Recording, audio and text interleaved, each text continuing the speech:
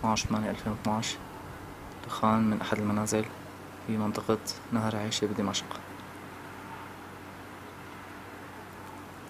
هناك منزل آخر. يحترق أيضا في تلك المنطقة.